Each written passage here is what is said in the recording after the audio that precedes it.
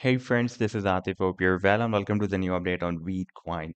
In today's video, I would like to show you a very big breakout from this falling wedge pattern. Previously, by the way, I've been showing you uh, this down channel on the weekly time frame chart in my every video, but recently you can see that this support line of the, the of the channel slightly moved up. Therefore, now the move is changed from the down channel to this falling wedge pattern and this resistance is the same of the uh, that we had the resistance of the channel and right now you can see that VITE coin is breaking out this resistance and in today's video we will take a look at this move and I would also like to show you my most recent trade signal of VITE coin and through this setup we caught more than 50% pump of VITE but before starting this analysis if you are not subscribed to my channel then do subscribe it and for more trading signals you can also join me and support me as a YouTube member or as a Patreon member because here I'm sharing different trading signals for you on the daily basis and you can find a link to join me here in the video's description I've shared.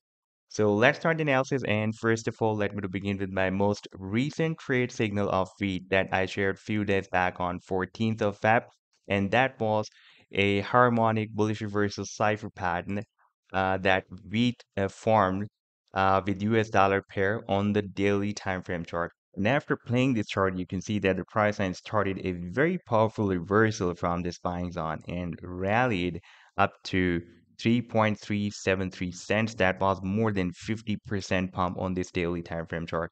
And before that, I also shared another harmonic bullish reversal regardless setup. Uh, that was on 21st of January 2023. That was, by the way, formed with Bitcoin pair on the four-hour time frame chart. And after playing this chart, you can see that the price line uh, rallied very well. And that was, by the way, more than 23% pump.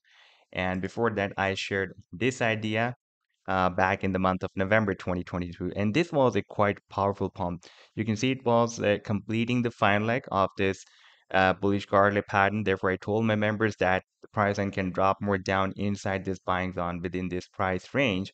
And then we can expect a price reversal from there. Now, after playing this chart, you can see that the price line started a very powerful pump. First, it dropped more down, completed this leg here, entered the buying zone, and then we had more than 75% pump on this four-hour time frame chart.